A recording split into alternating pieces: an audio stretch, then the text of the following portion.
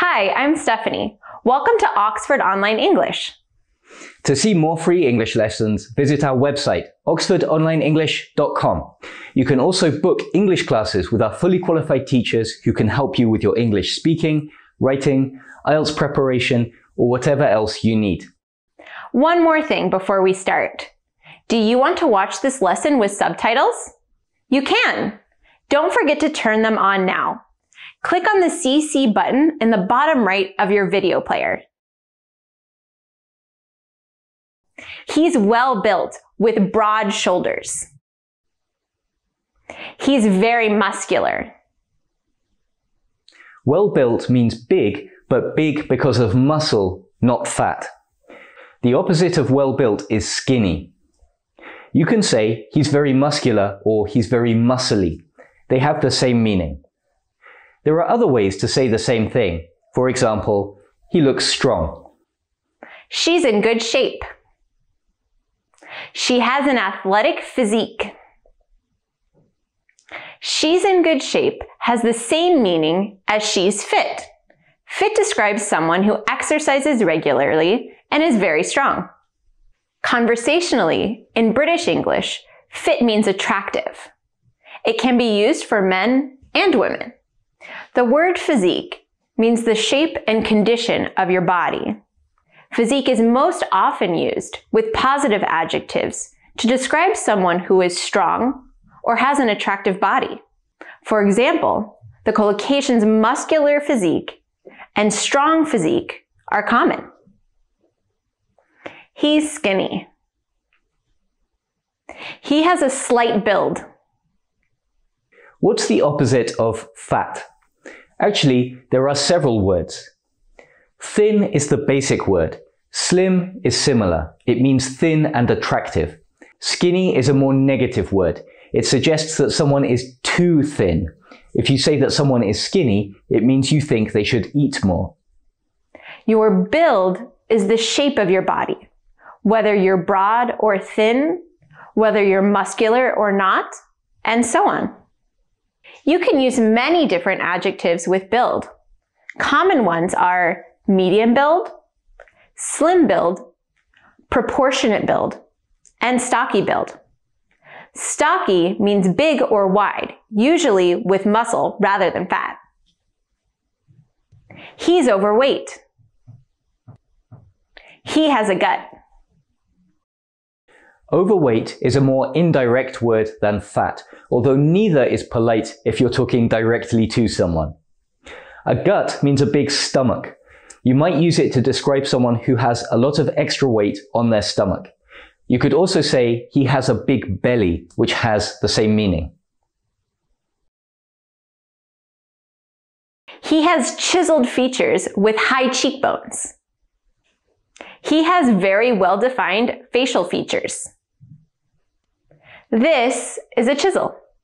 It's a tool which is used to carve stone, for example, to make a sculpture or a statue.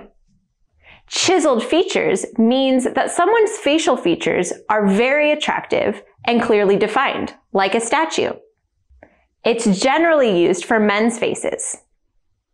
Well-defined is similar, but can be used for men or women. If your facial features are well-defined, then your cheekbones, jaw, chin, and so on have a clear shape. This has a positive meaning although it doesn't necessarily mean attractive. He has crow's feet. He has faint wrinkles in his forehead. As you get older, you'll get lines or wrinkles in your face. Crow's feet are the patterns of wrinkles you get in the corner of your eyes. Wrinkles can be faint, light and difficult to see, or deep. She has dimples when she smiles. She has freckles on her nose and cheeks. Dimples here mean small holes in your cheeks, which appear when you smile. Not everyone has them. Although it's not common, you can use the word dimple to refer to similar holes in other places. For example, some people have a dimple on their chin. Freckles are common among people with very light skin. Going out into the sun can make your skin more freckled. She has a round face with a high forehead. She has a double chin. You can use many adjectives to describe the shape of someone's face, such as round, thin, symmetrical, long, or square. If someone is overweight, they might have a double chin. He has a goatee. He's going grey. Goatee is a common word. It's a beard which covers your chin and upper lip only. You can also have a full beard, which covers your whole face and neck. There are many words for different styles of beard, but most of them are not commonly used, except by beard experts. If you say he's going grey, going means becoming. You can use go in this way for changes in someone's hair. For example, go grey or go bald. You can also use it if someone's face changes color. For example, she went bright red, or he went pale when he heard the news. He has curly black hair. She has thick shoulder length curly hair. Curly describes hair with tight curls. What's the opposite? The opposite is straight hair. In the middle, you can have wavy hair. For length, you can say hair is long, short, medium length, or shoulder length. For very long hair, you might say something like, her hair reached down to her waist. He's bald with a thick beard. She has long blonde hair. Bald only refers to people who have lost their hair, usually because of aging. If someone shaves their hair off, you can say he has a shaved head. Hair can be thick or thin. You can use these adjectives for hair on your head or for your facial hair, beards and mustaches. When talking about hair, be careful with adjective order.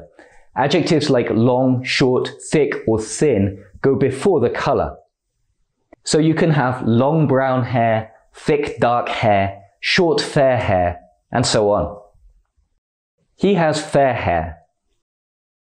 His hair is shaved short at the back and sides and swept to one side on top.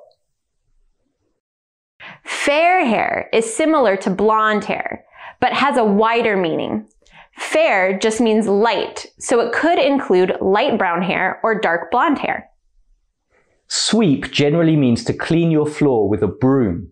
However, you can also use it for hair, especially when you push your hair in one direction. You can sweep your hair to one side, sweep your hair into a ponytail, or sweep your hair back. That's all for this lesson. Thanks for watching. See you next time.